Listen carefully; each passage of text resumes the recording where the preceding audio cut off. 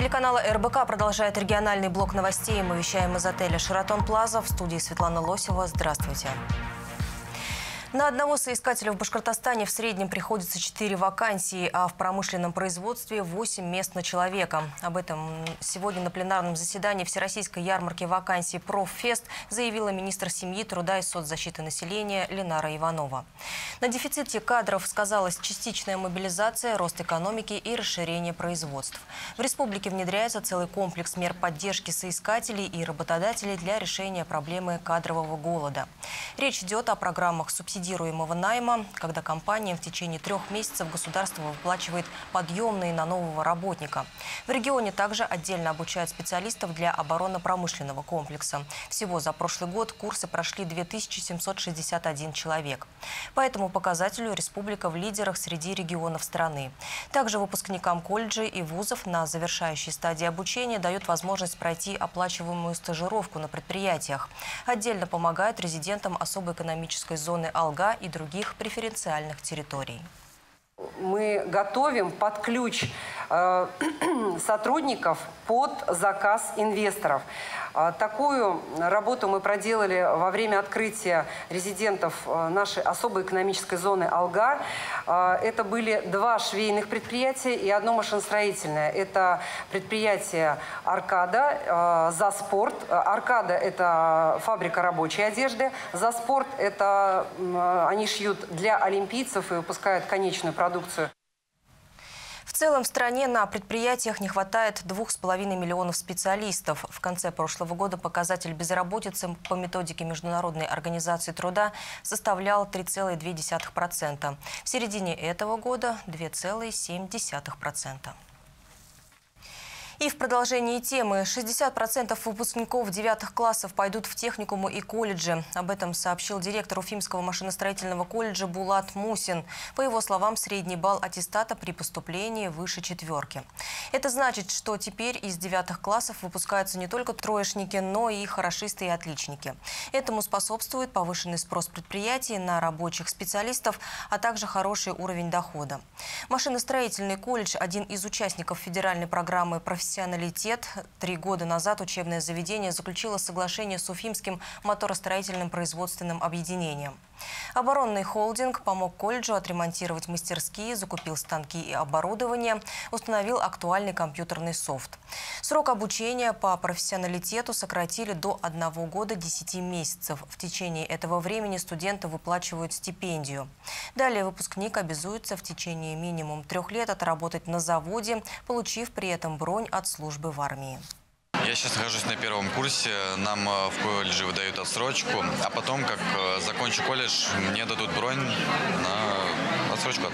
Ребята осознанно идут на э, рабочие профессии, хотят освоить вот буквально даже при сокращенных сроках обучения за год и 10, это тот же 10-11 класс, мы уже даем профессию и готовые ребята идут на производство. Э, если есть желание, они также в производственном учебном центре авиационного кластера Ростех могут еще получить дополнительные профессии.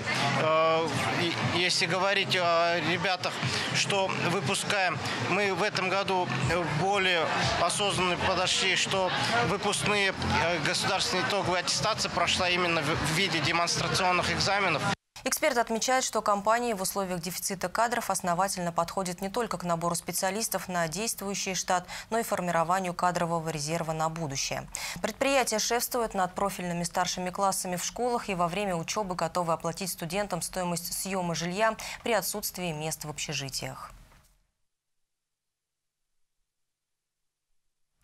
Кредитные организации за пять месяцев года выдали жителям Башкортостана автокредиты на 32 миллиарда рублей. Сумма в два раза больше, чем за аналогичный период 2023-го, следует из данных Национального бюро кредитных историй. В целом по стране объем выданных займов на покупку автомобилей составил 924 миллиарда рублей, что на 107% больше. Столь существенный рост эксперты объясняют эффектом низкой базы из-за дефицита новых машин в начале 2023 года. В настоящее время высокие темпы темпы выдачи связаны с ожиданиями роста ставок в будущем, а значит и дальнейшего удорожания кредитов. Также эксперты выделяют всевозможные акции и скидки от дистрибьюторов, которые стараются сократить затоваренность своих складов, а также субсидированные ставки от производителей. Стоит также отметить, что в январе-мае было выдано рекордное количество займов – 646,5 тысяч. Это на 88% больше. В Башкортостане в последние годы участились случаи отравления некачественными едой и напитками. Об этом РБК УФА сообщила руководитель регионального управления Роспотребнадзора Анна Казак. По данным ведомства, в 2023 году в республике зафиксировали 64 случая. Это почти в два раза больше, чем в 2022.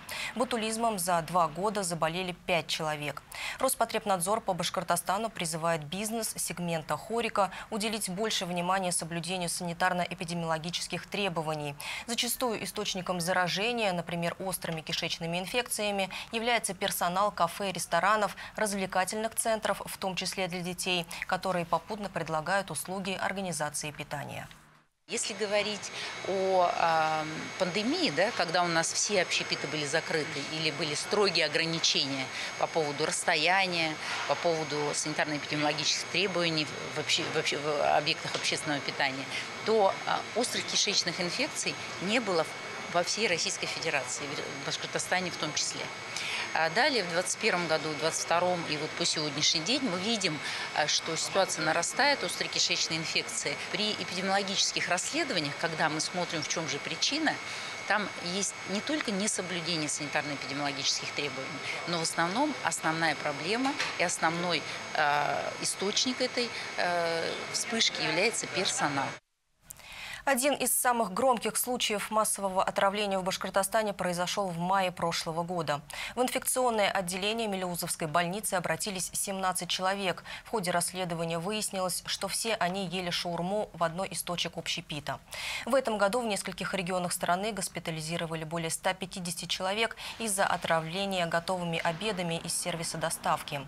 Они начали обращаться в медицинские учреждения с признаками ботулизма с 14 июня.